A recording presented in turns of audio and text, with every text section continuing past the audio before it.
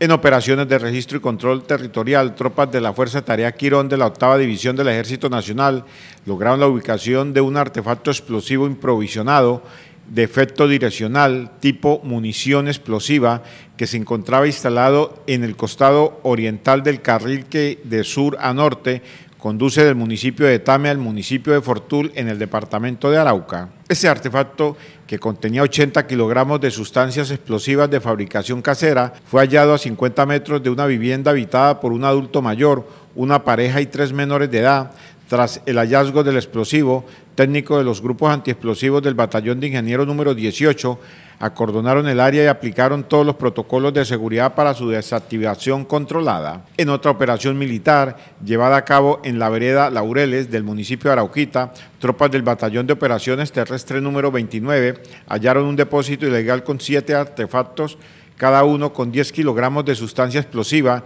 y al parecer pertenecía a las disidencias de la FARC. Con esto pretendían realizar acciones terroristas en contra de la población civil y la fuerza pública. En lo corrido del año, tropas del Ejército Nacional han neutralizado más de 50 acciones terroristas que ponían en riesgo la vida e integridad de la población araucana y el personal militar, así como los bienes estratégicos del Estado. El Ejército Nacional rechaza estos métodos ilícitos de guerra que constantemente infringen el derecho internacional humanitario y se invita a la comunidad a informar en las líneas especializadas 146 y 147 sobre cualquier acto sospechoso que pueda alterar la seguridad y tranquilidad de los araucanos.